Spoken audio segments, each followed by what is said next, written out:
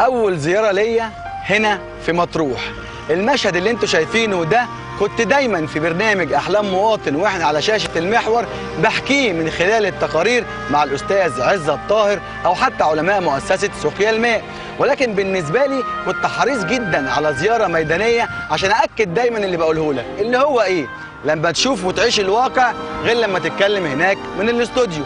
موجود معاكم النهارده للعديد من المفاجآت هعلنها تباعا. ولكن أفضل شيء لما تشوفه إن أنا اتعرفت على صاحبي يوسف في أول تواجد ليا في محافظة مطروح وتحديدا وإحنا على الطريق الدولي السلوم وفي منطقة النجيلة. خلوني في البداية عشان أبدأ أشرح لكم إن إحنا دلوقتي قدام أحد أبيار مؤسسة سقيا الماء وطبعا خدوا في الاعتبار تماما إن هي معمولة بالشكل ده. الأمان اللي معمول بنسبة 100% ما فيش احتمال يبقى بير تقليدي بشكل ما فيهوش عناصر الأمان زي ما أنتم كنتوا شفتوا في الفترة اللي فاتت. وكمان بقى مواتير الرفع والحنفيات وبعد كده كمان هتلاقوا فيه بقى كولدير ومية ساقعة. يعني دي هتنزل ساعه كان بيقول لي الاستاذ عزت في آه، آه، حاجة هتبقى تم آه، تركيبها كمان. يعني بمعنى صح شيء أكتر من رائع. طب إيه الهدف من اللقاء ده المرة دي؟ الهدف إن أنا أتعرف على صاحبي يوسف وأقول لكم وإحنا موجودين النهارده. الكلام الجميل اللي قالوا لي قبل ما نبدأ ندور الكاميرا بتاعتنا ونسمعه مع حضراتكم النهارده. ازيك يا يوسف؟ كويس. عندك كام سنة يا يوسف؟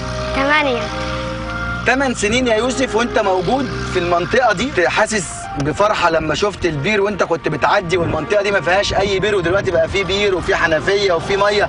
حاجة خلتك مبسوط يا يوسف؟ آه بنلعب برضو؟ كورة هنا بنيجي نشرب منه آه يعني أنتوا بالفعل ساعات بتلعبوا كورة وتيجي تشربوا. آه. طيب قول لي يا يوسف آه انت واصحابك لما بتبقوا تعبانين من من الكورة وبتبقوا أنتوا تشطفوا وتشربوا بتبقى حاجة سهلت عليك ما كنتش بتشوفها قبل كده. آه. صح؟ صح.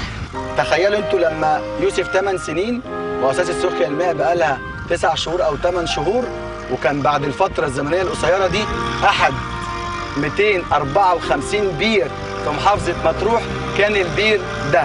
يبقى يوسف وكل أصحابه اللي لسه في السن ده لما يبدأوا يتربوا على مية يشربوا منها على بير وهم بيلعبوا كورة يجوا يتشطفوا فيه يبقى ربنا بيسبب الأسباب وبيجعل مؤسسة سقيا الماء بالتنسيق مع المحافظة إن هم يخلوا النشء ده ما عندوش لسه لهفة بق المية ودي دايما بتبقى الرسالة المهمة اللي إحنا دايما بنأكد عليها.